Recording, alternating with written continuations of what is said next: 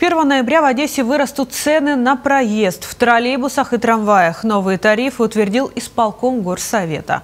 Теперь при расчете наличными проезд будет стоить 8 гривен, а безналом 7 гривен.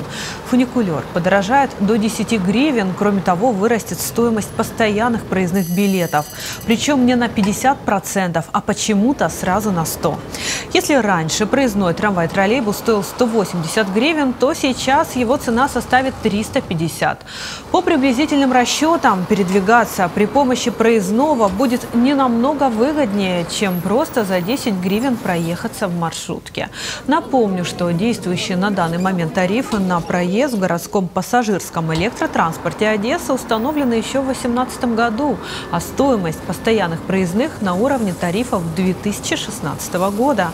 Повышение стоимости обусловлено повышением тарифных ставок, цен на запчасти, основных и вспомогательных материалов, а также увеличением затрат на оплату труда, тарифов на электроэнергию и коммунальные услуги.